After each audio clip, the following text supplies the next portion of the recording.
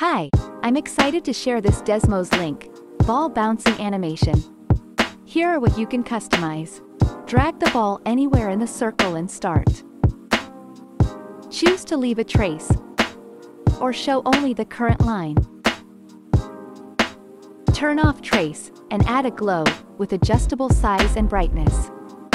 Turn off glow and add a tail, with adjustable width, length, and brightness. Switch from constant speed to easing out.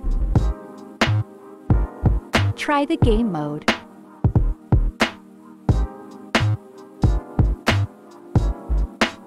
From the position you select, how many bounces will it need to eliminate the whole circle?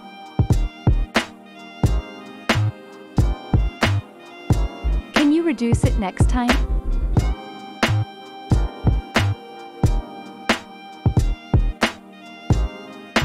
You can find the Desmos link in the comments. Have fun with it and stay tuned. I'm working on a multiple ball version,